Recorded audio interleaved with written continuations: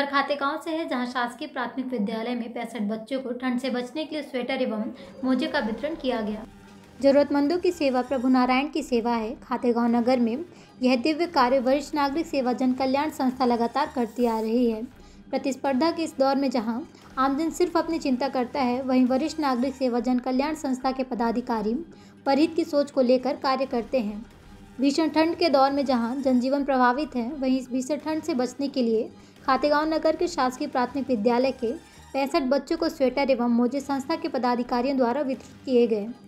बच्चों को स्वेटर एवं मोजे वितरण कार्यक्रम में संस्था के जेपीएस तोमर, सतीश मित्तल, प्रदीप कालाम, शिवदयाल यादव, हबीब खान पठान, अनंत नारायण व्यास, जगदीश जगताप शिक्षक प्रमोद बौहरे, तिवारी मैडम एवं शिक्षिकाएँ उपस्थित थे। सभी बच्चों का स्वल्पाहार कराकर उनका अभिनंदन किया गया। खातेगांव से प्रदीप साहू की रिपोर्ट।